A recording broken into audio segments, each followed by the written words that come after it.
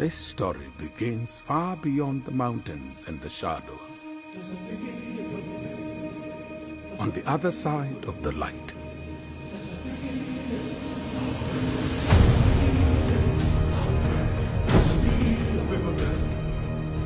A lion was born without a drop of nobility in his blood. Lion who would change our lives forever. Mufasa.